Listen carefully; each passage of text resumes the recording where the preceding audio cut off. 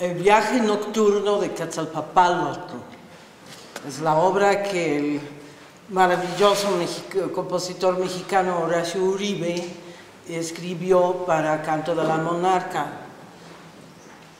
¿Qué es Quetzalpapalotl? Es una criatura mitad mariposa, mitad pájaro, y es en esta criatura que metamorfosean los guerreros que perecen en el campo de la batalla y las mujeres que mueren en el parto.